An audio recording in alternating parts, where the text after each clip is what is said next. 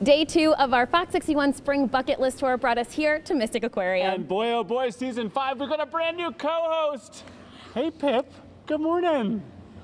Mystic Aquarium is celebrating our 50th anniversary, and what a better way to celebrate than do a brand new California sea lion show. So we have five California sea lions that are all rescued, and they're going to highlight some of their amazing adaptations and do a really engaging educational show. Right? Look at the camera. Oh my gosh. Ready? Hi. Give her, give her a kiss. I did not see that Yes? coming. Can I get one? Oh, yes. Nice job. We are uh, actually meeting one of the new sharks that's in this exhibit. Last September, our zebra shark was hatched in our Milne Center.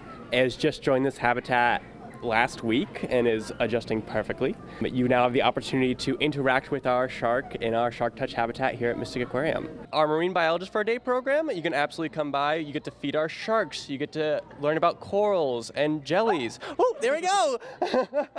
It's been an incredible experience here. We've been introduced to so many amazing animals and fish, and now we are talking to Blue Black, one of the penguins here at the Penguin Encounter. Blue Black hatched here in 2010, and she's one of our animal ambassadors. So she participates in a variety of different programming that we do. She participates in our Penguin Encounter, our Penguins Up Close program, and our Trainer for a Day program. There are 18 total species of penguins, and most of them live in warm sandy beaches. So there are penguins in places like South America, there are penguins in South Africa where you would find this species, the African penguin, The hands-on experiences that families get with a penguin or with a shark or with a seal, what is the, the takeaway for them, do you hope?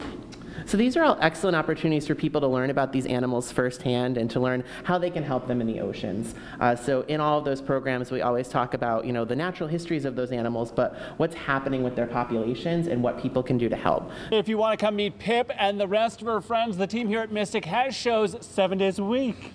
Keith, I think she's going to replace you. I'm Rachel Piscatelli. I'm Keith McGilvery. This is Pip. Fox 61. Can you say Connecticut's news station? Connecticut's news station.